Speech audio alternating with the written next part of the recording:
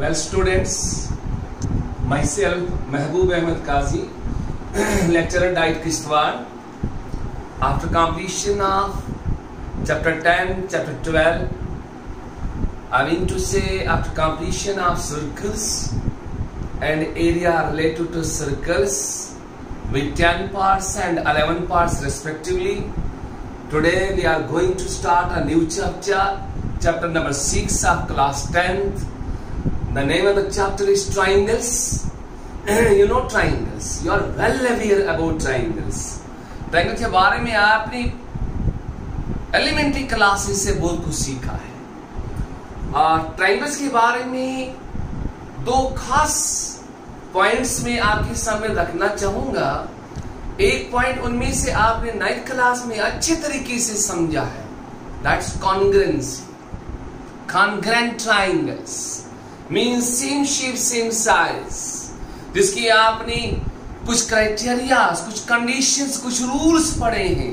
Congruency condition criteria rules axioms जिनमें आपने पढ़ा है S S S axiom S A S axiom A S A axiom R H S axiom these are congruency rules is well ये पढ़े आपने ninth class में। एक फिर आज इस क्लास टेंथ के अंदर आपको एक नया कंसेप्ट मिलेगा similarity similar triangles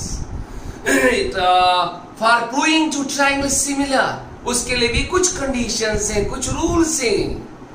उन रूल्स का नाम इस तरह है. S S S similarity rule S A S similarity rule A A A similarity rule तीन रूल्स साइड साइड साइड फिर साइड एंगल साइड फिर एंगल एंगल एंगल ये तीन सिमिलरिटी रूल से for proving two triangles what similar एक खास बात यहाँ पे हाईलाइट करना चाहूँगा।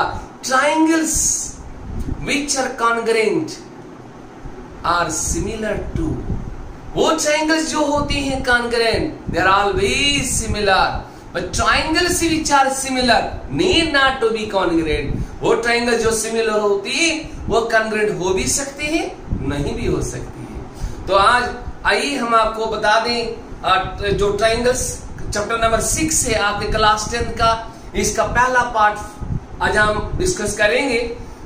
ले चलते हैं आपको बोर्ड की तरफ़। This triangles your chapter six it's part first कुछ बातें मैंने आपकी समझ के लिए यहाँ लिखी है similarity same shape same size same shape same size हो तब भी ट्राइंगल सिमिलर होती है।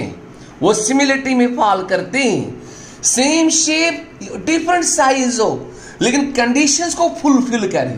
Conditions like S S S हो लाइक एस एस हो, या ए ए ए हो, तभी हम कहेंगे टू ट्राइंगल्स आर सिमिलर ये जो वर्ड लिखा मैंने, ये ट्राइंगल्स के लिए है।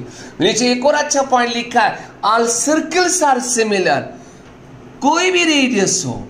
One C M two C M twenty C M two hundred C M ये सारे circles having different radii they are declared similar वो होते हैं सिमिलर जैसे हम आपको बताएँगे, छोटा हाथ, बड़ा हाथ, सबसे बड़ा हाथ, सारे हैंड्स हैं सिमिलर इसी तरीके से ऑल सर्कल्स आर सिमिलर एक और पॉइंट मैंने लिखा यहाँ all equilateral triangles are similar ऐसा क्यों? ये आगे हम डिस्कस करेंगे.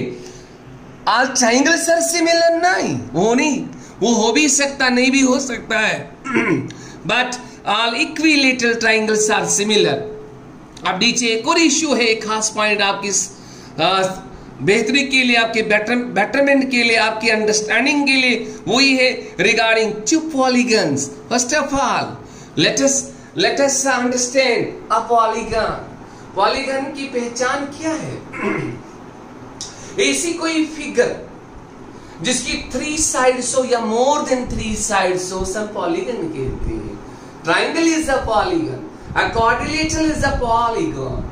Uh, a pentagon, a hexagon, a heptagon, a octagon, and so on. These are all polygons. आइए आप खास बात भी आपको बताता हूँ यहाँ पे regarding two polygons. Two polygons are said to be similar. Though polygons means though triangles means two squares means two rectangles means simply two polygons generally two polygons are said to be similar if number one पहली condition क्या होनी चाहिए same number of sides अगर एक figure में तीन side हो अगले में भी तीन एक पहले में चार साइड हो अगले में भी चार होनी चाहिए एक में पाँच साइड्स अगले में भी पाँच होनी चाहिए। वही है सेम नंबर ऑफ़ साइड्स दूसरा point there corresponding angles are equal corresponding angles अगर एक ट्राइंगल को दूसरे के ऊपर हम कौन साइड कराएँ, उनके कॉरस्पॉन्डिंग एंगल्स इक्वल बनने चाहिए। ये दूसरी कंडीशन है for two polygons to be similar तीसरा point there corresponding sides are proportional proportional के लिए मैं आपको समझाऊँगा अपने हाथ, दो हाथ लेके, जैसे ये मेरे दो हैंड्स है सेम शेप सेम साइज़ है।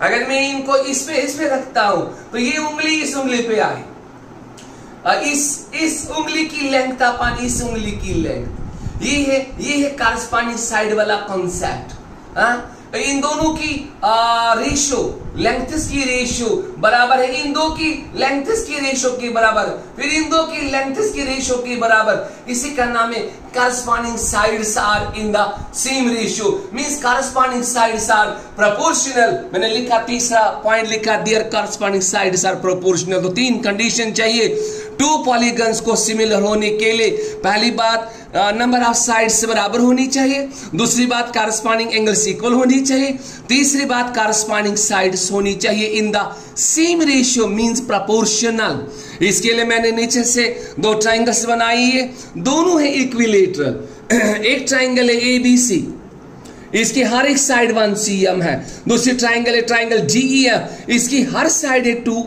सी एम दोनों इक्विलेटरल है। जब दोनों इक्विलेटरल है तो अगर मैं ट्राइंगल ए बी सी और ट्राइंगल डी ई एफ़ के करस्पॉन्डिंग एंगलों की बात करूँ, पहले नंबर ऑफ़ साइड की बात करूँ, यहाँ भी तीन साइड है, यहाँ भी तीन साइड है। तो ये वाला पहला पॉइंट क्लियर हो रहा है। सेम नंबर ऑफ़ साइड तो सेम नंबर ऑफ़ साइड से। अब मैं दूसरा पॉइंट करूँ करस्पॉन्डिंग एंगल्स आर इक्वल यहाँ भी हर एंगल 60 यहाँ भी हर एंगल 60 है तो करस्पॉन्डिंग एंगल्स आर इक्वल तीसरा पॉइंट है corresponding sides are proportional means अगर A B upon D E करूँ, वो बनेगा one by two A C upon D F करूँ, वो भी बनेगा वन बाई टू अगर मैं B C upon E F करूँ, वो भी बनेगा one by two it means corresponding sides are in the same ratio तो तीन की तीन कंडीशंस यहाँ सेटिस्फाई हुई. So we can announce we can declare that these two triangles generally we can say that these two polygons are similar तो अब नीचे मैंने कुछ और भी लिखा है।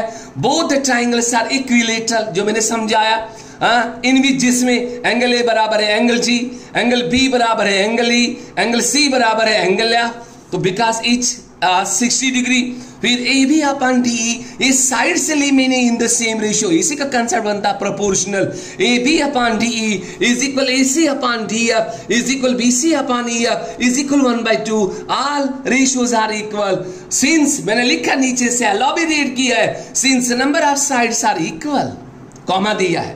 पाली कंडीशन ये number of sides are equal तो कमा दिया कॉरस्पॉन्डिंग एंगल्स आर इक्वल वो भी देखा आपने and corresponding sides are proportional therefore two polygons are similar I mean to say that is equilateral triangles are similar तभी यहाँ लिखा था मैंने all equilateral triangles are similar तो इसका अब हम जनरलाइज करके एक रिज़ल्ट लाएँगे कंक्लूजन में thus two polygons of the same number of sides. Are similar if their corresponding angles are equal and their corresponding sides are proportional.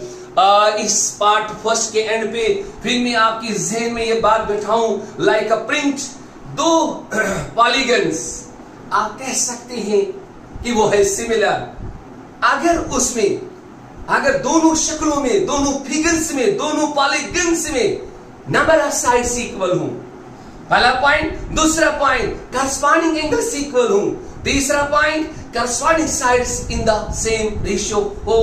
तो इस पार्ट फ़र्स्ट में हमने सीखा how we can say when we can say that two polygons are similar thanks a lot इंशाल्लाह part second में हम नए point से ले लेंगे।